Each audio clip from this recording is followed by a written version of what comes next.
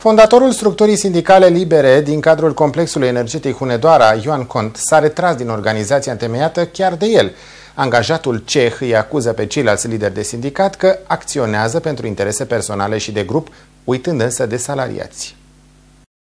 Ioan Conț, inginer șef reparații la Mintia și fondatorul structurii sindicale existente la nivelul termocentralei Hunedurene, Sindicatul Liber Independent Electrocentrale Deva Mintia a plecat astăzi din această structură. Bărbatul spune că liderii organizației au uitat scopul acesteia și își urmăresc doar interesele personale și de grup. Nu au știut și nu știu să gestioneze, mai ales în situația de față, interesele comune ale societății, ale complexului energetic Hunedoara. Merg pe niște interese personale și de grup, a declarat Ioan Conț. Fostul membru al structurii sindicale sindicale libere a mai precizat că a luat această decizie și în urma evenimentelor petrecute în ultimele luni. Bărbatul face referire la situația de la Mintia din luna februarie, când zeci de angajați au intrat peste șefi în birouri forțându-i să scrie demisiile, fără a exista o motivație punctuală. Astea s-au ascuns într-un punct din protocolul încheiat care a fost scris în așa fel încât să nu-ți dai seama ce reprezintă. De fapt, era demisia conducerii, nu numai a directorului Nicolae Codreanu, ci și a inginerilor șefi. Pe lângă aceasta au refuzat o întâlnire finală, administrația administrație sindicat, a precizat Ioan Conț. Ioan Conț este cel care în urmă cu 26 de ani a redactat primul statut sindical.